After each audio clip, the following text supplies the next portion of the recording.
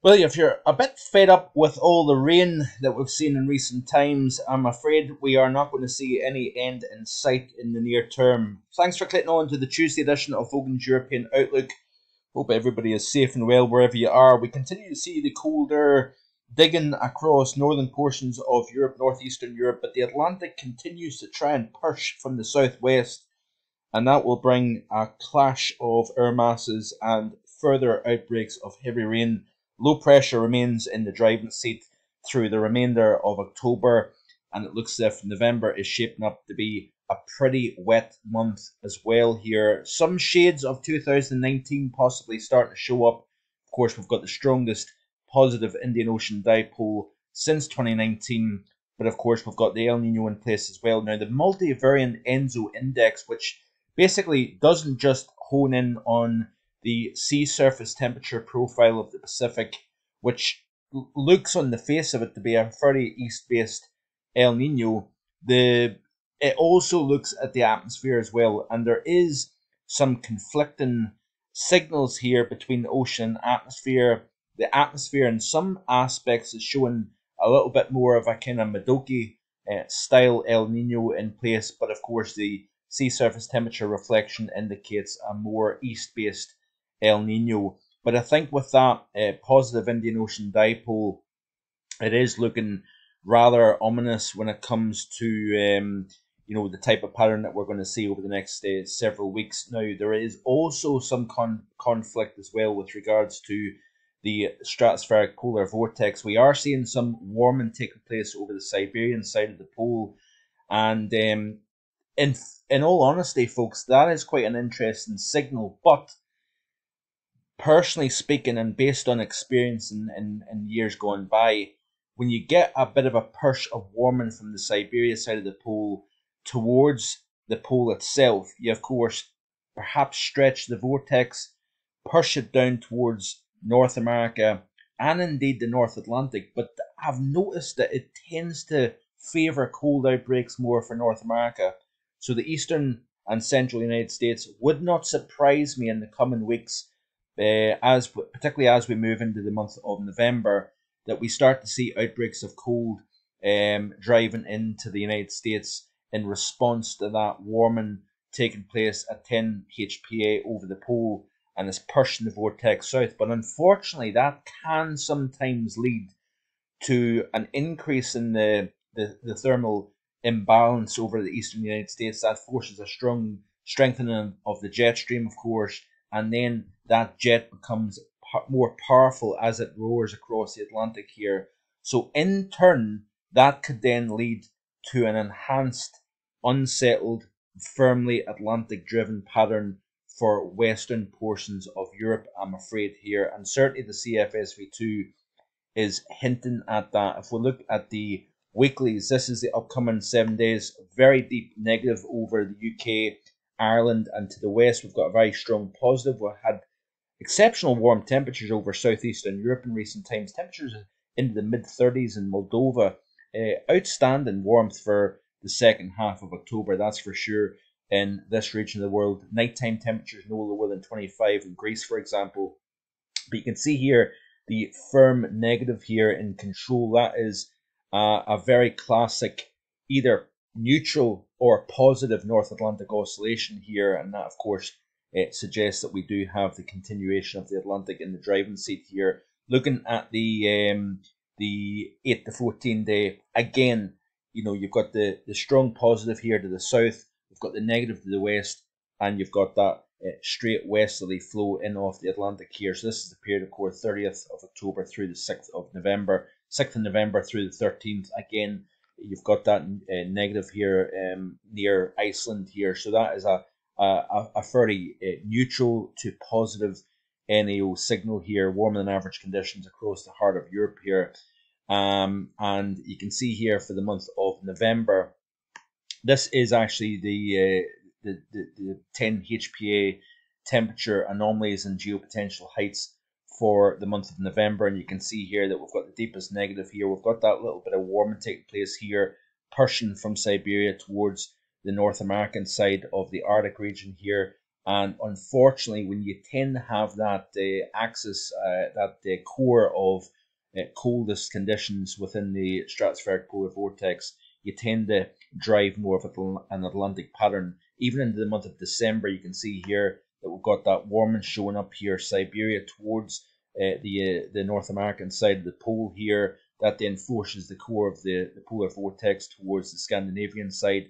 And like I said, based on um, you know past occurrences, it, it does not necessarily uh, bode particularly well. Now, this is an interesting signal here for January off the CFSV2, indicating that we've got a weaker polar vortex, a, a much more pronounced warming, yes, on the Siberia side, yes, pushing towards the pole here with the axis of uh, uh, coldest conditions within the stratosphere towards the European side. But notice here that we don't have any particular dark blues showing up here so this is the problem that I have.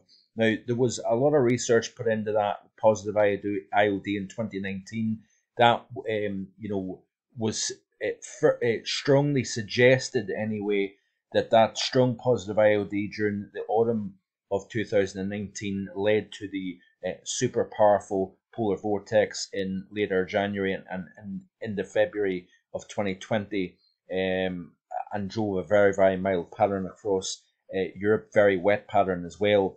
And, you know, I'm really struggling with this one because we've got eh, a little bit of conflicting signals with the El Nino. The El Nino wasn't present in 2019. So there's a lot of different parameters to look at. We have to then take into consideration what the Madden-Julian oscillation is doing.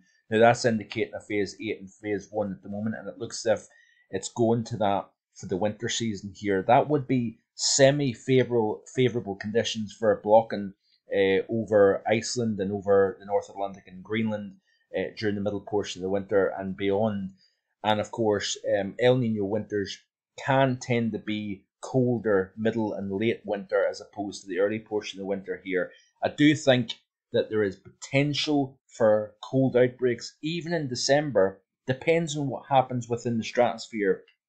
Um, but uh, I, I'm having a little bit of a hard time really trying to pinpoint exactly where we're going, even into the early portion of this winter season here. Now, you notice here, if we go back, kind of jumping back and forward as per usual here, these are the 850 temperatures of the ECMWF. You can see here multiple areas of low pressure in play at the moment. Colder, kind of bottled up towards Scan- uh, Scandinavia and northwestern Russia here. Very warmer um, through Italy, the Balkan region, Turkey, etc. You can see here as we play through this loop, you've got that warmer air, these multiple centers of low pressure trying to pull that warmer out of the subtropics towards the UK. All the while we've got cold air coming in from an east and northeasterly direction. But look at the amount of areas of low pressure involved in the pattern. Now the parent low, the main low driving our pattern is out to the west of the UK and Ireland here. This is of course 2100 UTC tomorrow afternoon here. We've got another centre of low pressure that is uh, driving a bit of an easterly flow,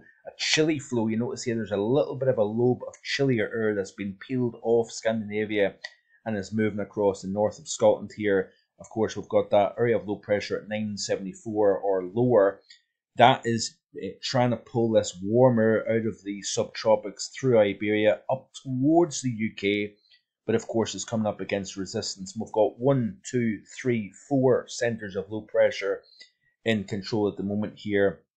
As we play through these areas of low pressure uh, to the east of the UK is essentially stopping that, that cold air from getting drawn into the UK.